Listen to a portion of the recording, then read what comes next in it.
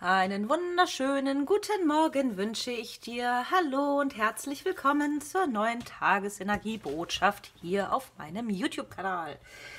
Falls du neu hier bist, mein Name ist Sabrina. Ich mache intuitive Kartenlegungen. Ich biete auch persönliche Kartenlegungen an. Alles Infos findest du unten in der Infobox. Und wir beginnen heute mal direkt mit einem Orakelkartenset, was wir schon sehr lange nicht mehr benutzt haben. Ja, ich habe heute einen Ohrwurm. Und das geht jetzt schon eine ganze Zeit so. Und zwar von Patrice Today. Ja, also falls jemand da mal reinhören möchte oder falls ich da gleich dran denke, äh, packe ich euch das mal in die Telegram-Gruppe. Falls jemand Lust hat, sich mir anzuschließen, können wir gerne gemeinsam Everyday is Good hören. Ach nein, ich meine gar nicht Today. Wie heißt denn das Lied? Everyday. Genau. Everyday. Das Lustige ist, er singt Everyday is good because uh, of being alive. Und das Lustige ist ja, einer meiner Söhne heißt Live. Und ähm, das Lied geht natürlich nur um ihn. Es ist gut, jeden Tag als Live aufzuwachen, auf jeden Fall. Ja, dementsprechend äh, bekommt jetzt hier meinen Hackbraten ans Ohr. Wir haben die als erste Karte, die Karte der Rednerin. Deine rhetorischen Fähigkeiten sind Teil deiner Lebensaufgabe. Also, falls du dich dazu berufen fühlst, auch den Menschen eine Fritte ans Ohr zu reden, do so. Denn wer wird schon dafür bezahlt, dass er die ganze Zeit redet? Ich weiß nicht, was sind denn das für Menschen, die dafür bezahlt werden, dass sie die ganze Zeit labern und labern und labern? Ich weiß nicht. Licht und Liebe Menschen vielleicht. Deine Aufgabe ist es, göttliches Heilungslicht und Liebe in diese Welt zu bringen. Also, falls du dich berufen fühlst und ebenfalls Orakelkarten zu Hause hast und eine gute Verbindung nach oben, dann lass dir doch gesagt sein, den Versuch ist es wert. Komm auf unsere Seite. lass die Welt an deinen Botschaften teilhaben, an deiner Lebenserfahrung, an dem, was du hier anzubieten hast. Denn wir alle sind ein individueller Ausdruck des großen Ganzen. Und nee, das will ich hier nicht so umgeschmissene Karten. Ich möchte gerne Karten ziehen, glaube ich, heute. Licht, na, du willst raus. Okay, okay, ich gehe mit dem Floh. Beobachte deine Emotionen mit dem Wasser. Mhm. Guck, was es mit dir macht, wenn du über Sachen redest. Ah, das sind schon wieder so viele. Na gut. Ich gebe mich geschlagen. Also, was haben wir dann hier so? Die Klarheit. Die Richtung zeigt sich dir jetzt an. Am Wochenende hatten wir auch schon das große Thema der Vision. Und zwar war das am Sonntag in dieser Mammutlegung, die wir mit den Chuck Spezzano-Karten gemacht haben. Die geht, glaube ich, 35 Minuten. Ich fand sie sehr gehaltvoll. Ähm, vielleicht hast du da Interesse, falls du es noch nicht getan hast, da auch noch mal reinzuhören. Ich versuche am Ende des Videos das in den Abspann zu machen. Ansonsten einfach unterhalb dieses Videos da unten mal auf meinen Namen klicken, dann müsstest du das sehen. Das ist das letzte Video, was richtig lang ist, also das vorletzte Video von vorgestern, genau. Da müsstest du das sonst auch finden. Da ging es nämlich darum, auch mit diesen Emotionen und dem Wasser und den Gefühlen. Hier haben wir noch mehr Wasser. Regen. Auch der stärkste und längste Regenguss macht irgendwann der Sonne Platz. Dann bin ich mal gespannt, was die letzte Karte sagt. Ausweg, es gibt immer eine Lösung für das Problem. Also, falls du das Gefühl hast, hier in deinen Emotionen zu ertrinken und dass der Regen niemals aufhört, dann lass dir gesagt sein, dass du diese neue Vision hast. Wenn es aufhört zu regnen und das Meer aufhört, sich zu überschlagen, dann kann die Möwe wieder fliegen und du siehst hier aus der Tür raus wieder diesen Sonnenaufgang. Dann kommt das Licht wieder, ne? Das göttliche Licht und Liebequell ist, steht uns allen zur Verfügung, auch wenn es sich im Alltag manchmal nicht so anfühlt, als ob wir beschützt und behütet wären. Aber es ist so. Wir dürfen uns selbst immer wieder auch gut zureden, dass das so ist. Und wer mir hier schon länger folgt, der weiß, dass ich überhaupt kein Licht und Liebe, nur Licht und Liebe Fraktionsmensch bin, sondern manchmal ist es auch das Spirituellste, jemand anderem zu sagen, er soll sich mal verpissen, um es mal auf den Punkt zu bringen, ähm, wir müssen nicht immer die Probleme aller anderen Leute aus ihnen heraus lieben. Wenn dich jemand schlecht behandelt, wenn jemand nicht gut zu dir ist oder wenn du nicht gut zu jemandem sein kannst, dann geht auseinander. Im wörtlichen wie im übertragenen Sinne und auch wenn es Familienmitglieder ist, sind. Wenn du mit jemandem nicht zurechtkommst, der dein Licht und deine Liebe nicht sieht und dir den Mund verbietet, dann ist das Liebevollste, was du sagen kannst, vielleicht einfach mal der Mittelfinger, sich umdrehen und gehen. So ist das im Leben manchmal. Love it, change it or leave it. Überlege dir, was du liebst und schenke ihm Zeit. Überlege dir, was dich stört und verändere es. Überlege dir, was du loslassen musst und wonach, wovon du dich befreien willst, weil es ohne, weil du es ohnehin nicht ändern kannst. Ja. Love it, change it or leave it. Eine alte Managerweisheit aus Amerika. Wenn du nicht die Möglichkeit hast, etwas zu verändern an der Situation, dann musst du dich damit arrangieren oder sie akzeptieren oder das Weite suchen. So sieht's aus. Genau das wollte ich hier gerade sagen. Also, wenn jemand nicht sehen will, dass du aus Licht und Liebe heraus handelst und dich irgendwie unterdrückt, was dir wiederum hier lauter Tränen, Regen und Gefühlschaos bringt, dann wirst du eine neue Richtung sehen. Es gibt für dieses Problem eine Lösung. Es gibt eine Lösung. Es gibt einen Change oder ein Exit. Vielleicht haben deine Kinder oder der Kinderwunsch oder die Kinder eines möglichen Gegenübers äh, Einfluss auf dein Liebesleben. Ja gut, das kann natürlich durchaus sein, ähm, weil, ja, weil es einfach so ist, wie es ist. Aber zu Licht und Liebe gehört halt auch, dass wir alle unser Gepäck mit uns rumtragen. Ne? Also falls du neu hier bist, ich bin äh, Mitte 30 und bin eine alleinerziehende Mutter von vier Kindern. Ähm, ich spreche hier aus Erfahrung. Wir sind nicht die begehrtesten auf dem Markt. Sagen wir es mal so. So, dann haben wir hier noch eine Täuschung. Jemand in dieser Beziehung verbirgt sein wahres Ich hinter einer Maske. Okay. Was haben wir noch? Lass deinen Ex-Partner los. Okay. Nehmen wir noch eine letzte. Befreie dich.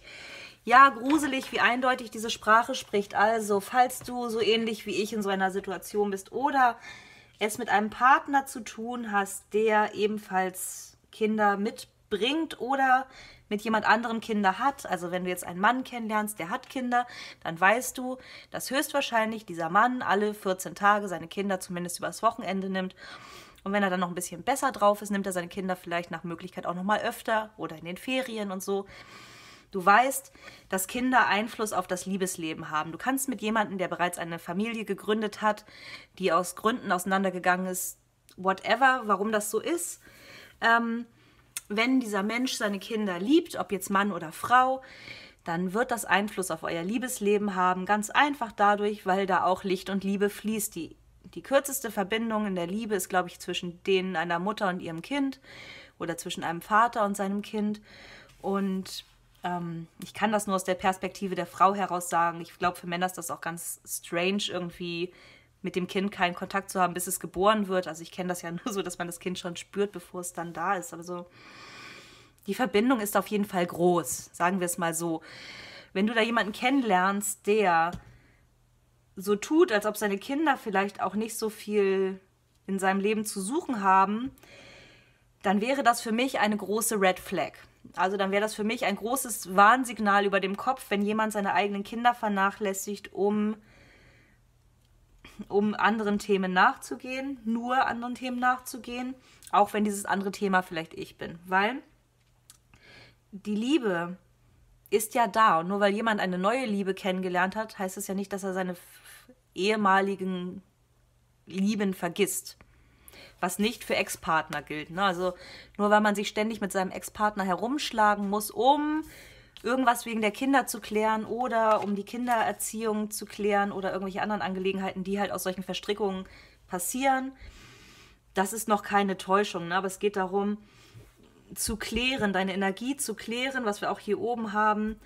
Ähm, bist du mit diesem anderen Ex-Partner noch so verstrickt, dass der halt ständig präsent ist in deinem Alltag.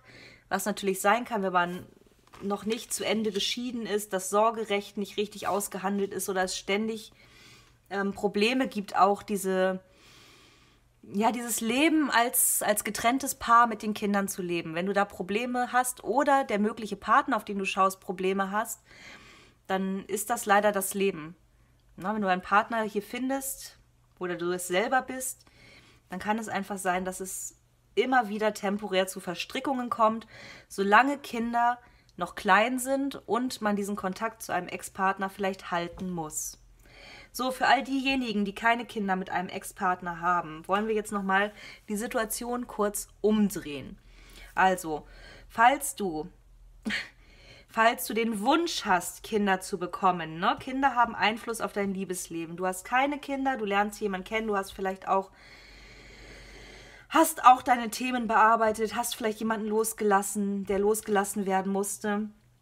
Vielleicht hast du mit einem Ex-Partner versucht, eine Familie zu gründen, das hat nicht geklappt oder ähm, das war dann doch nicht der richtige. Und dann kommt da jemand und verspricht dir das Blaue vom Himmel.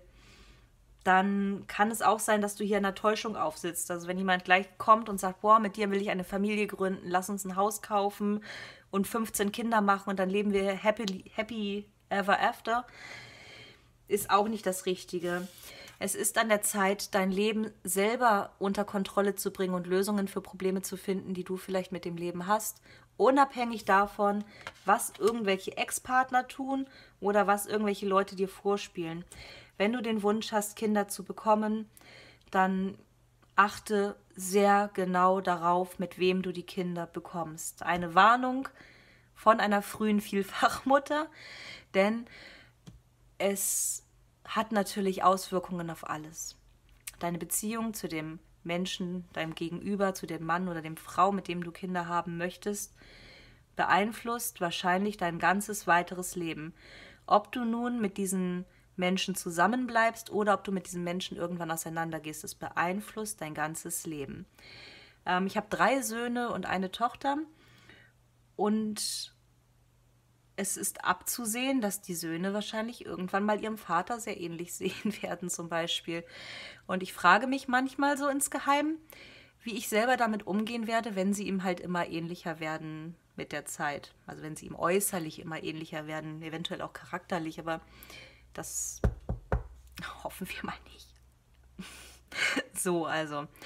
Ähm, das sind so Sachen, die, die bleiben halt. Kinder bleiben. Kinder sind kein Haustier. Und auch wenn man sein Haustier sehr liebt, ja, Kinder sind vollwertige Menschen, vollwertige Ausdrücke der Licht- und Liebequelle.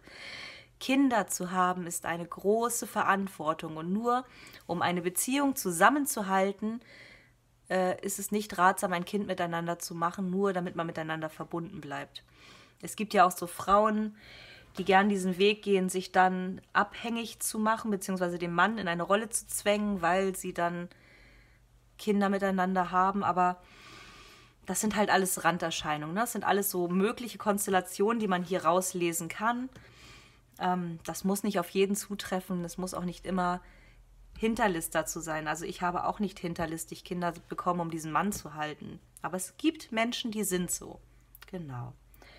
Aber vielleicht solltest du dir Klarheit erstmal darüber verschaffen, wirklich, was dein Problem wirklich löst und wie du dieses emotionale Chaos dahinter dich bringst, sodass du hier diesen ganzen, weil das sind ja echt hier drei Karten, die wirklich nicht so cool sind, ähm, dass du das wirklich hinter dir lassen kannst.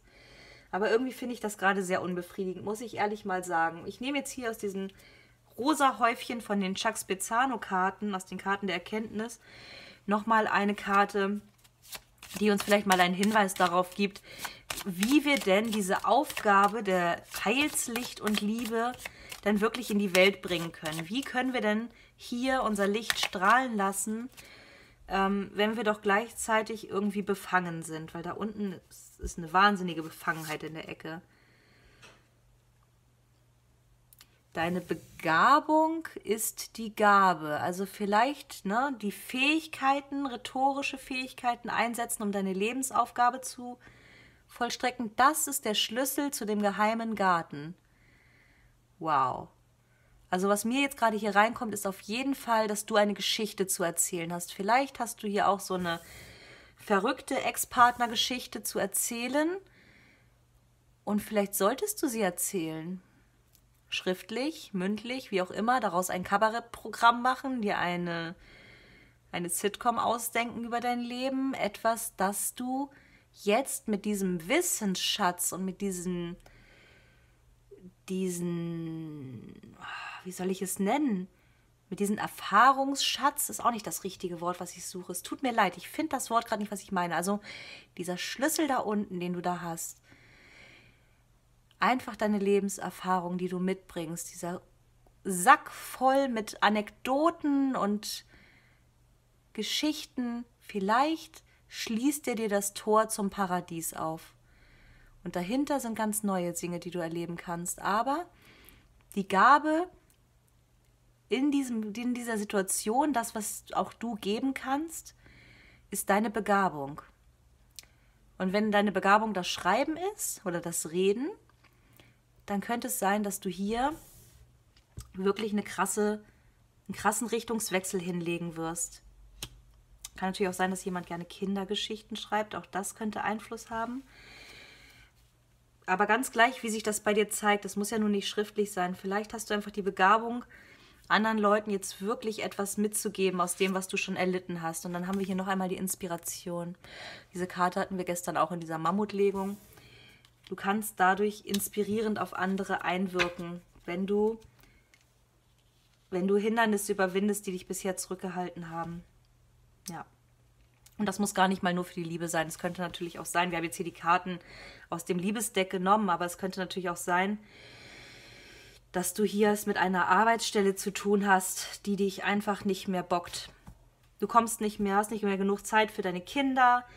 Du musst eine Maske tragen, du wirst forciert, äh, Dinge mit deinem Körper zu tun, auf die du auch keinen Bock hast auf der Arbeit, nur um die Arbeitsstelle zu erhalten. Eventuell arbeitest du sogar mit einem Ex-Partner zusammen, dann ist es an der Zeit, dir die Kontrolle über dein eigenes Leben zurückzuholen indem du die rhetorischen Fähigkeiten nutzt, dein Leben auf eine neue Stufe zu stellen. Nutze deine Begabung, vielleicht inspiriert dich auch ein Dritter oder du inspirierst jemanden, jetzt diesen Weg auf eine andere Art und Weise zu nehmen als bisher. Ja, und das war schon wieder ein Riesenroman am Dienstag. Ich hoffe, die Legung hat dir gefallen. Äh, wenn dem so ist, freue ich mich wie immer über ein Däumchen nach oben. Falls du es noch nicht getan hast, aber dabei bleiben möchtest, freue ich mich auch darüber, dich als neuen Abonnenten zu begrüßen. Alle weiteren Infos zu den Social Media Accounts und dem ganzen anderen Internetgedöns findest du ebenfalls unterhalb des Videos. Und dann sage ich dir einen schönen Tag, gehabt dich wohl und dann bis morgen. Ciao.